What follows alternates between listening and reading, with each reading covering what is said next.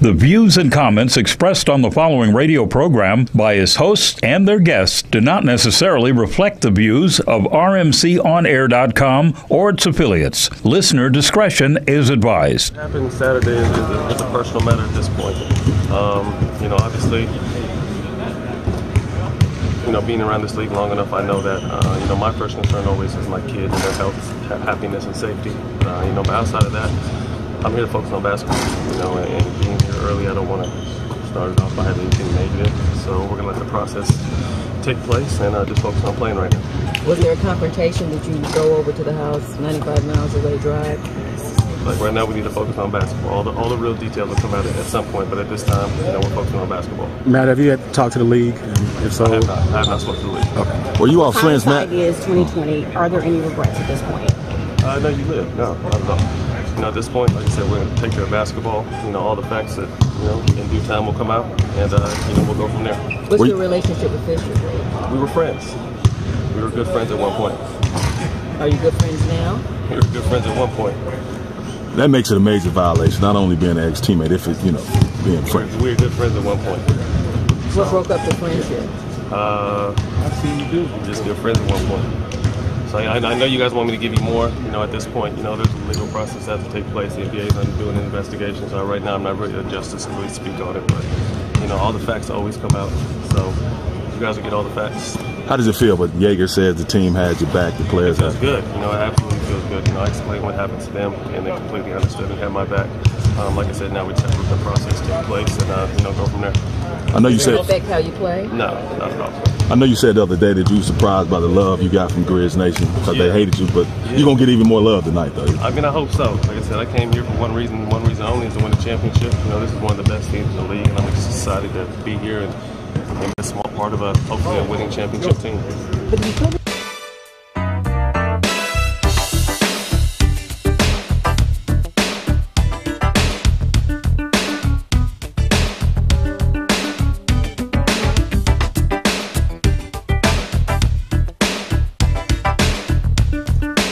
What's happening, Just Sports with Sonny Wells? Man, I'm here. Smitty's here. Doc's here.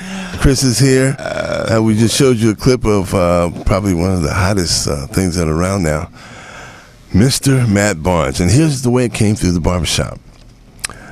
There was supposed to be some sort of uh, uh, social gathering at, at, at Matt Barnes' uh, former uh, house, I guess, uh, which he paid for.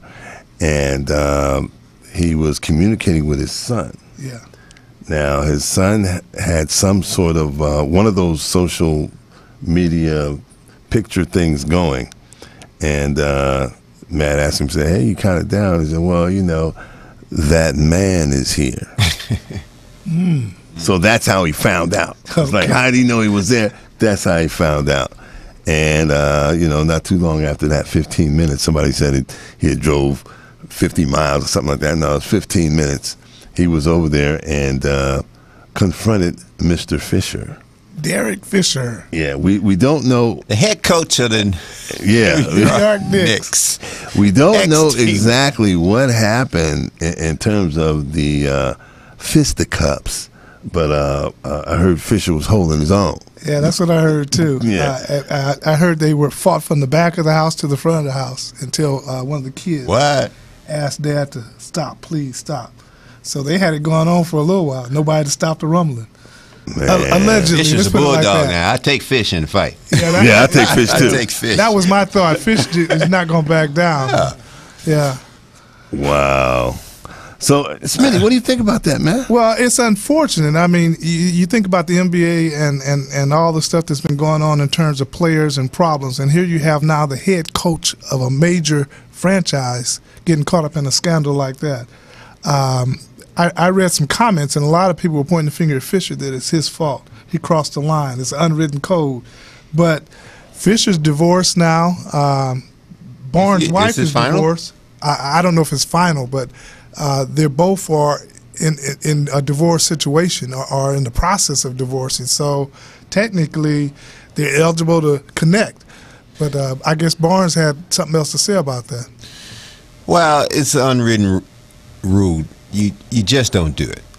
All right, as they asked him several times, "Are, are you guys have you guys been friends?" and and Barnes said, "Yes, we were very close friends before." And asked him again, "Are you still friends?" We were very close friends before. You just don't cross that line. As a teammate, uh, as a lot of women out there, why go there? Yeah. And above all, you're dealing with Matt Barnes. Hey, okay, let's just taking on a man per man uh, situation. I don't want to have to issue have to deal with him because he's not going to take this well. Yeah. Okay, and the man ego is fragile. I don't care how macho we may seem, the ego is fragile, and as you see, the ego uh, was broken, and it's just something that Fisher shouldn't have done. My explanation, just from going by from what I've heard of this Yeah. thing, and uh, you know, you're just like your best friend. You, if she if he dated her, you don't date her. It's just not going to come out right. Yeah, you, you know though, how all of a sudden does he come into the picture? Obviously, there's something that had been going on before then. Uh oh. Oh yeah, just trust You me, this it's been going just on. didn't pop up. Yeah, it just didn't pop up. You know, he's, Uh, uh, this is yeah. See, they this is you know, earlier times, I'm yeah, sure. Yeah. That's team as uh. it- That's when he was with the team- Clippers, right? Yeah, yeah. Uh, yeah, and coaching. Yeah, you know, Yeah. they were boys. It's like, how you Right. gonna go and run up my girl, and you know I still got feelings for her. I done bought the house. Yeah. how you go and see? You know, That just I think wrong. the problem was is that his son was unhappy Yeah. that Yeah. Mr. Fisher was there, and that was. I heard he left training camp and was gone. Yeah. Yeah. I'm pretty sure he know there's there was something between oh, yeah, here, there she is. between Uh-huh. the two. Yeah. Oh, that's her. Yeah. Hmm. Oh no, she's a good looking, good looking young lady, but it's not worth it, bro. it's too many women Well, out there. well I, I'm wondering. I'm wondering. So is Fish through with her now? Would you be through with her now? See, setting up the just pictures like that further lets me know that there was probably something going on. As a result, you know, the three of them taking pictures. Why three of them got to take pictures like that, huh? So that means behind his back, he was trying to holler at her. Uh, yes, she is looking good, isn't she? yeah. no, she's a good looking woman. Okay. Yeah. All right, fish. I, I see you, fish. Nah, ain't that good looking, bro. Yeah, come on. Obviously, she You just is. can't, Matt you just Barnes- can't do it. But he man. can't do. Look, You can't do it. she said something to Fish to let him know he got the green light. Yes. Hmm? Apparently. He wasn't over there with no peace and nothing like, "Come on, girl, get up." Well, I must want that green because uh, it's it, you just don't do it. Well, you know, there was there, there had to be some type of uh, animal physical attraction that went on, and that Matt Barnes just refused to try and say was really there, and then all of a sudden, he just let her go.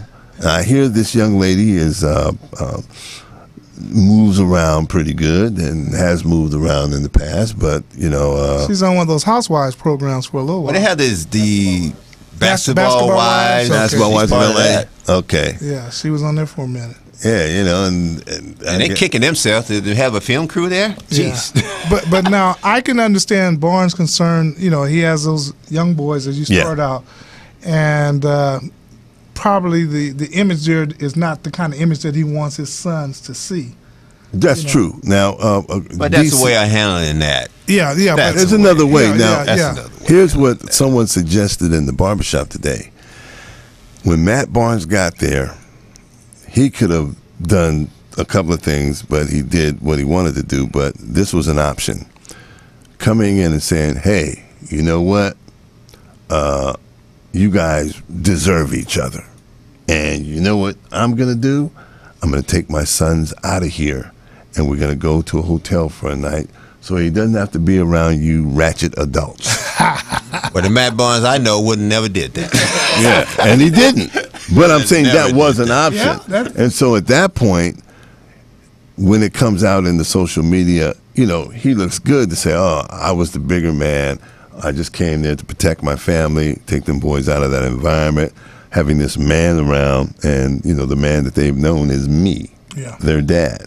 And I took him out of that situation.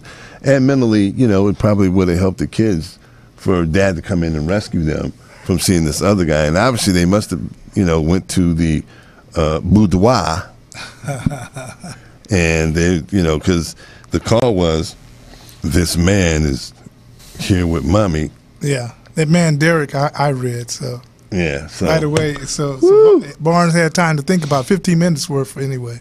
It's funny how the media had 96 miles he drove when he Said he drove 95 miles Yeah, from but Santa Barbara to to Fif- uh, 15 minutes Redondo away from Beach. where he lives. You know, that's what he was saying, or where he, where he was. So, uh, you know, what what I'd like to see now is how, how is it going to play off when uh, the Knicks play Memphis? You know, especially in New York, they're gonna. I'm sure they're gonna let that be a sub headlines. Uh, Barnes versus Fisher or something like that. Yeah, but you know Well, what? This be is what. I this is what I, I'm I'm curious about. How can the NBA come in on a personal matter and make some type of decision about something that they really don't have any jurisdiction over? This is yeah, this guy's that's personal be, life. I'm trying to figure out. Yeah, yeah, how can they if- if- intervene in this at all? right. If you listen to both of their interviews, I'm referring to Fisher and Barnes. They they kept emphasizing it was a personal matter. Right. So they probably were instructed to separate the two, so it can set the stage for you know whatever's going to take place. Yeah. Now the thing is, it didn't happen at work, so it's not work related. Right. exactly. So it is a personal matter, and there has been any there hasn't been any type of criminal charges. Nope. So what can they actually do other than you guys stay away from each other? Uh, but but there are contracts that players and probably coaches sign as well that their conduct both on and off. Uh, I'm thinking football. That now. could that only an issue for the player, Yeah. Not for the coach. Okay. Not for the coach. I, I'm I, I not would think they probably hold the coach to to a, coaches to a standard. their contracts as well. are different Okay. than players All right. as far as uh, Well, who's conduct. at hold on, hold on. Y- y- Who's at fault then? There's no one at fault. Uh, Well, This- public, public scandals uh, you should try and avoid. Yeah, at, at all costs. But Yeah. there's no one at fault here. This was a personal matter between two men, and it resulted in uh, them there has been, talking and doing some other things and Right. then leaving. there has been some other player to player fights Yeah. over women. Oh yeah. It's not the first Yeah, one. yeah, Jason, that- Jason it happens Kidd all and, the time. who was it? Jason Kidd back in the day, and uh, who was Yeah. the other player? Uh, they were on Dallas at the time. Right. They got and- into a scramble. So this is not a first uh, time for something like this. It Just has been as public as it has because it's involved a coach. Geno Smith. Yes. Yeah. Yeah. There you go. That's an example right there. Current example. Mm-hmm. Yeah, and they try and wait. They letting time go to they hope for that that's going to die down too. It's not much either of these organizations can do, in NFL or NBA. Well, Geno paid the price though. He's second string now. that, that quarterback mm-hmm. is balling now for. for Well, he the should have been second string from the start. He- Yeah. Geno is no, nobody's quarterback. Okay, you know what? Let's take a break and we'll come back and we'll talk about those great Lakers that we saw last night and a losing effort What's right after these style? messages.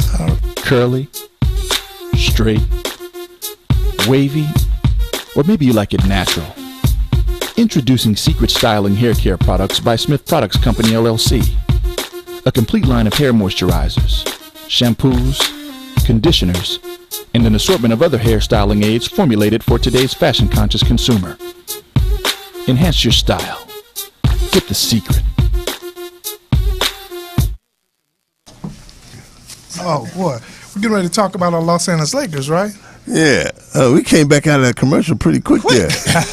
Did we play the whole thing? You give us a countdown? Yeah, nothing, man. We just, Bam, Smitty. You're back in there, buddy. Come on. Put him on the spot too. Yeah, that's good. Yeah, why did you say Smitty? Why did you say Sonny? Yeah, why did you say me? That's okay. So, Doc, you didn't get to see the Lakers, and I did. Uh oh. And Smitty got to I see sure the Lakers. did. So, uh, and we do have a couple of clips, but let's talk about. Oh, What- listen, we got outsiders talking thumbs down on We got the boss out there talking about. Ah. But you know, let me tell you what I saw.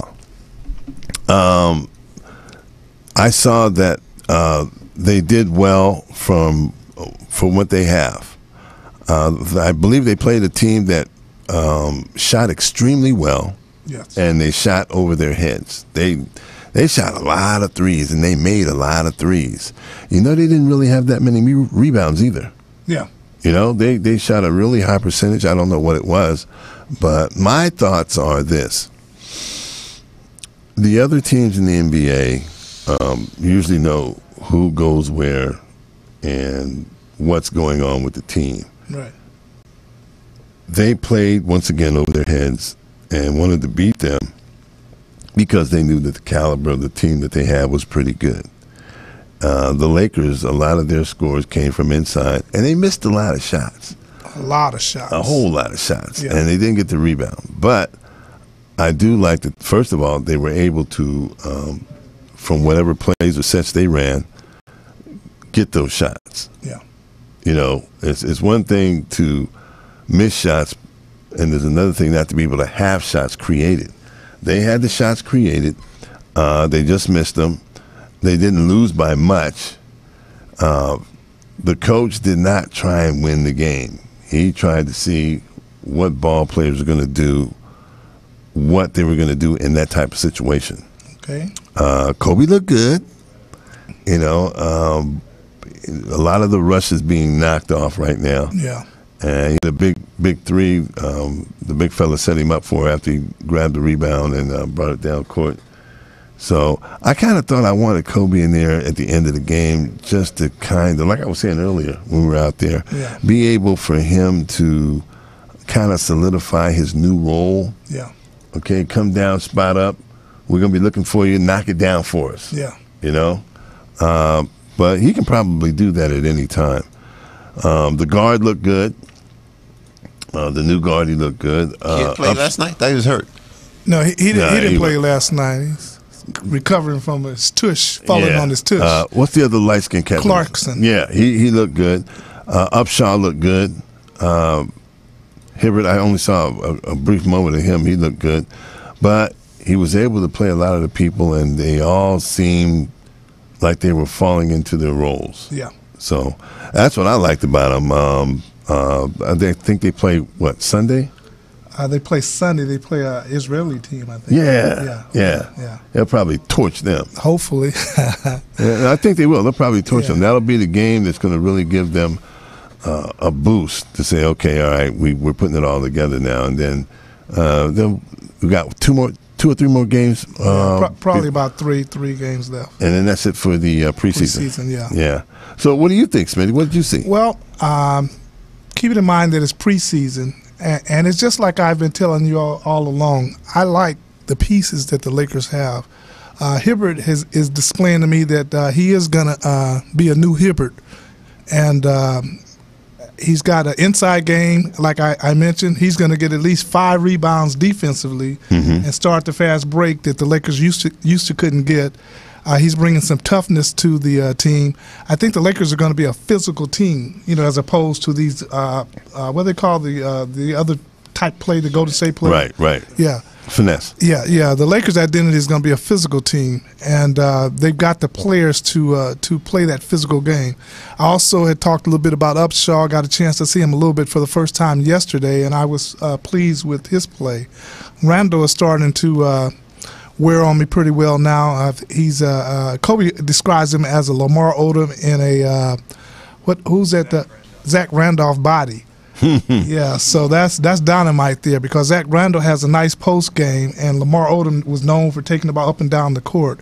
Uh, I I still don't see that perimeter shooting that I would like to see. Of course, all the players didn't play consistently, so but when it was time to close out that overtime game with Ut- Utah, uh, Nick couldn't pull it off, nor could Lou. So in my mind, Kobe is going to be that closer if he can stay healthy until they get another shooter or someone steps up and starts shooting those threes at the end of the game consistently. I still think that, that Kobe can close. All he has to do is, is did, uh, do what he did last night, come down, spot up, Yeah. and just be ready to catch and shoot. Yes. That's it, without having to jerk and herk and you know step back and all that and go. You know, he his. I don't think his body can can do all of that. Maybe midway through the season, he might do a little bit of that, Okay. but you know, What?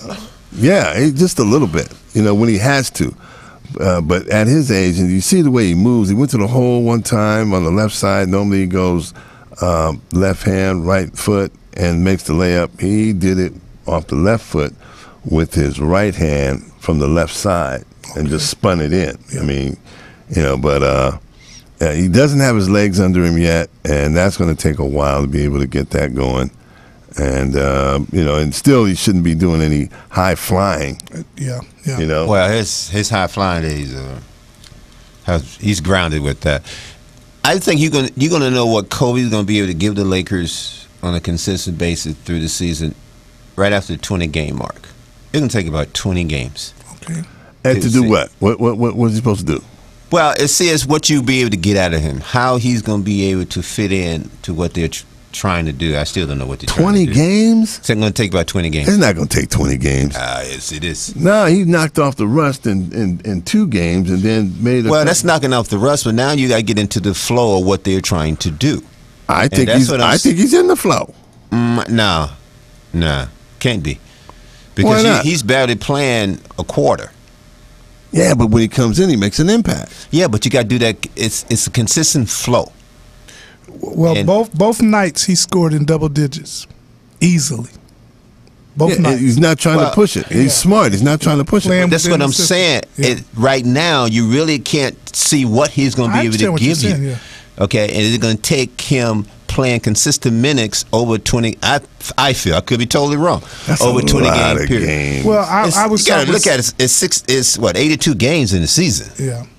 Well, Okay. He's not going to take 20 games. Sonny mentioned uh, I December. you start to see what the players can do. I don't know if that's a 20 game mark there, but Uh, that's probably half of that. half that. of that, yeah, yeah, So, so maybe that that's what it would take. But, but uh, uh, the Lakers have a system. The only thing that I see is they don't pass the ball crisp, crisp enough, crispy, or crisp enough. Yeah. You know, they're not getting it around to the different players in rotation properly, and and that's what Utah did well the other night. They moved the ball, and you know the ball the ball moves faster than players, and that's where they got Hi- Hibbert every time. He would go to block a shot, then they would pass under him, and nobody was covering on the weak side for him. So Byron is going to clean up all that stuff and Oh, through yeah, practice. Yeah, through practice. Yeah, yeah. Uh, in my mind, he got out coached in that second overtime game against Utah, just a little. But what type of flow do these Lakers have uh, as a, as an offense? What is it? I don't really know what it is other than uh, See, that's what I'm hit saying. the ball to the guy who's open, and uh, it didn't look like they were using a lot of sets. They looked like they were trying to get some type of chemistry uh, amongst themselves. And I know Byron Scott. That's kind of how he works. He allows you to play with your teammate before he comes in with something structured. Well, what is the Princeton offense? That's what Byron is known for. That's the same offense we're using at Trade Tech. Isn't that a Uh, flow it's a- offense? Yeah, it's Yeah. a it's a dribble. It's either a pass or dribble handoff to the right side to start it. The other side, uh, they're exchanging. Right. And by the time the guy gets the ball, he looks to the left. You should Yeah. be there. And there's a backdoor cut Yes. that goes yeah. along with that. So, so that's exactly what they were executing. And now that they have legitimate centers, they're going to go inside out a lot. But are these okay? And that's pa- that's a passing offense. Yes, yeah, yeah. You, and got a remember, they got, and remember, they got a rookie point guard that's supposed to be the top notch. But passer. still, the, the the principle, the the premise of that offense is it's a passing offense. Yes, move the Flow. ball. You're supposed to be at certain spots. Cut, Is it- cutting. Yeah. Isn't that the offense that got Mike Brown fired after five games? Yeah, I'm about to get to that. Yeah, yeah. Got Mike Brown fired. Yeah, yeah, Mike Brown, but he didn't know how to be able to set that Well, that wasn't fair for him to get fired after five games. Though. Yeah, Yes, they, it they didn't want him in there. I don't know why they went five. Yeah, well, look who they hired. Look, look who they hired, and see how many games they won after that. Uh, yeah, well, that's continuation of bad decisions by management. But I, I think the Lakers are going to surprise you this year, though. I, I- they have the tools to work with, and with Byron's coaching ability, as Sonny always emphasized. Yeah, I, I, I, they look to me. They look good. They look good. He wasn't trying to win the game. He was trying to see who he could use in certain situations. Uh, he didn't panic, and they weren't getting blown out. They they were extremely competitive against a team that's probably been together for four or five years, Yeah. and they're struggling to try and develop their chemistry at this point. So I think they're they're they're on a pretty good roll. Lakers We'll see- have seven new players now, at least seven, I think. yeah, you know how tough it is to be able to come in at that level and mesh together and work as a cohesive unit, that's that's really tough. Yeah. And so I think they did well, giving the amount of time that they've been playing. What we three games in now? Yeah. You know, getting ready to get four, and each game they've gotten progressively better, noticeably better. So you know, uh, it's only going to get better. Um, I still like the fact that uh, I think that Kobe should still be the closer For right now, for sure. here. And what about the Clippers? Cl- Clippers look good. They look good. They look good. but like I said, le- he don't want to hear any more about the Lakers. That's what he He gonna cut me out, man. Quit talking about the Lakers, man. I'm tired of them. We done showed all the clips now. Yeah. Talk about the Clippers. Yeah. Okay, let's talk about the Clippers. I hear Stephenson's not fitting in too well right now. Stephenson gain is Stephenson can't the flow that here we go with this word flow of the Clippers. Stephenson's not the type of guard that works well with the ball in his hand in their offense that they run it. He has to be a spotter. Okay, and it the ball gets in his hands. He doesn't create well when he shoot the ball. It just the mechanics. it just off. But when he's spotting up, spotting up, spotting up, that's the difference. Yeah. Okay. Now the Clippers problem is going to be like you you mentioned before. All these ingredients. They got a whole bunch of Yeah, they have a lot of talent Uh, on their team. I think this is going to have to be. Now I take that back. I don't think. I know this is going to have to be Doc's best coaching effort because if the Clippers don't make it to the final, this is. I, you might as well just take some dynamite and blow it up. Okay, because it's not going to happen. All right, I'm, I'm dead serious, and I'm a Clipper fan. I love him, but it, it- this to have to be. I don't know how he's going to manage it. I truly, truly don't because everybody says the right thing doing preseason. Everybody says the right thing doing pitcher day and all that stuff. But when the season gets started, now here it comes. Will the real player please show up? And Doc's gonna have to coach, and Doc's gonna have to manage minutes, and Doc's gonna have to stroke some egos. And he still got to keep his core people happy, Yeah. and you got to deal with DeAndre. With And and if any coach is capable of doing that, he is capable of doing that. I don't know. Yeah, I, I think he can do I it. don't. I, I'm a Doc Rivers fan, but the last couple of years, uh, some of the decisions that he's been making, I, I don't know. In the playoff, if you remember, Chris Paul made some mental mistakes, so you can't put that on the coach. well, I'm not. That I'm not. I'm not general. picking one specific incident Yeah. with him. I'm just overall looking at the effort and what happened. They what had that ownership problem. Yeah, but you only can ride. first year. You only can ride that for so long. Yeah, I, I, I realize Okay? this is and the they rode it for for a long, Yeah, much longer than I wanted Yeah. them to ride that for. Yeah, Let that go. Hey, Sonny, while we think about, it, let's give Pierre a shout out and Sun Lady. Pierre and Sun Lady, yes. Hey, Lady. shout out from Yes. uh, Just Sports here. All right. Hey, Pierre over in Vegas. Yeah, have fun, spend some money. I know what you're doing. Thanks for the French fries last week too. Yeah, And, and Doc has a big game coming up. His son, that is. Uh, what's going Yeah, on? they. Uh, I talked to him tonight. I told him stay away from television because everybody talking about him. And uh, he said, "No, we're not watching television." I said, "Look at a movie," because he, called me and said, "We landed and we ready." So now who they playing? Utah At Utah. at Utah, and uh, Where's Utah ranked?